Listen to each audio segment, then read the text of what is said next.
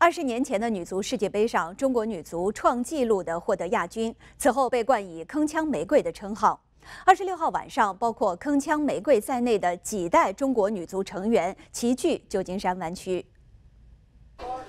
应亚美青少年足球学院邀请，中国女足最辉煌年代的二十三名球员来到湾区，将与湾区球队展开友谊赛，也希望借此激发美国华裔青少年对足球的兴趣。特别是我们华裔的青少年，让他们通过足球能够体会到团队的精神，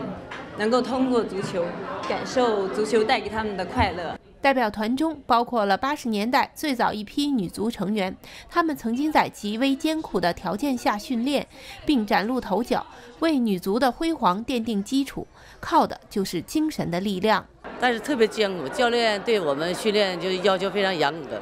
呃，就在那个那么艰苦的条件下，全是土场，没有现在什么草皮呀这那的，反正特别来劲训练。一九九九年洛杉矶世界杯决战中，中国女足遭遇美国守门员犯规，却没有被判罚等不公平待遇，在点球大战中惜败。当年在美接待过女足队员的李林成提到过往，依旧唏嘘不止。点球到最后分胜负，纯是运气问题，所以我觉得运气不够好吧，当年。但是应该女足从。经费那么少，到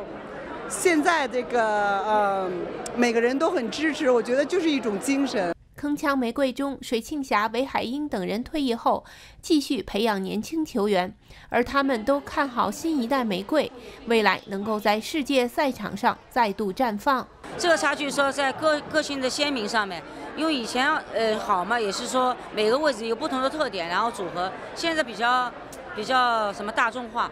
所以要有希望，也是培养更多的一些有个性的球员，怎么去组合在一起？现在也是要求呃专业人做专业事，然后鼓励更多的以前的足球的前辈能够走出社会，为那个青训青少年的培训呢做出更多的一个呃培养的一个一个力度。